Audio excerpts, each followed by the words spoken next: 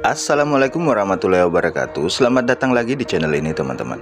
Kali ini saya kedatangan paket lagi sebuah jam tangan Yaitu jam tangan G-Shock DW5600 Sebelum kita unboxing jangan lupa tekan tombol subscribe dulu ya teman-teman. Oke ini dia paketnya sudah datang. Mari kita buka saja ya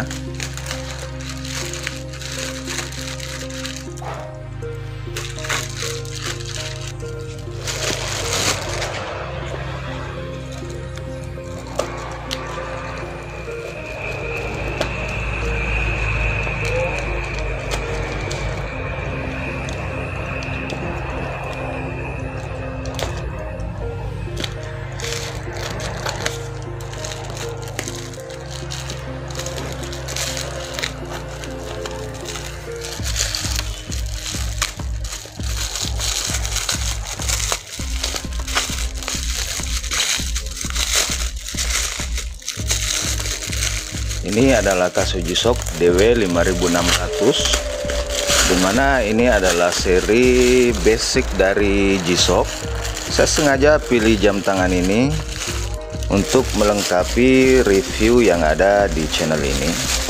Review G-Shock ya. Nah ini dia. Kita lihat dulu ya. Ini boxnya uh, model baru ya yang abu-abu seperti ini.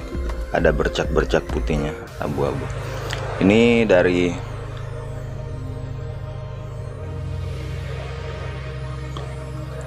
PT Gilang Agung Persada ini DW 5600E ini seri basic. Nomor modul 3229 Oke mari kita lihat saja.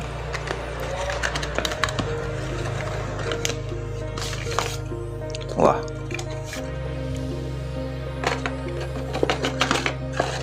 Oke sudah nggak ada. Ini notanya ya untuk harga itu harganya segini ya. 900 ribuan. Ini buku garansi. Buku garansi kartu garansi internasional yang ini ya.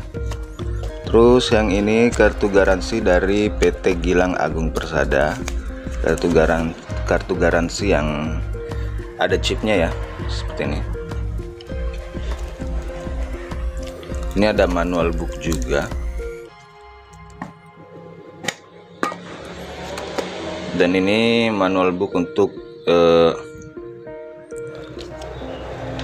BW 5600 ya. Ini dia jamnya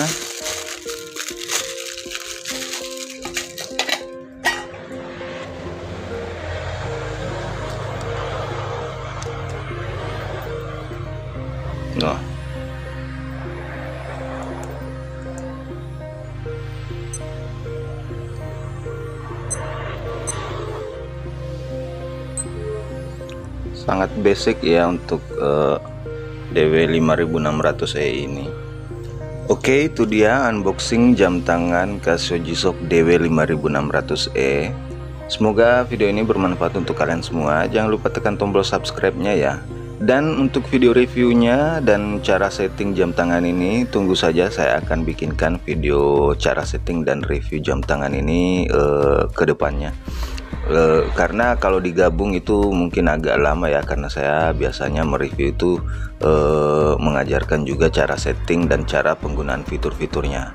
Dan sampai jumpa di video berikutnya. Assalamualaikum warahmatullahi wabarakatuh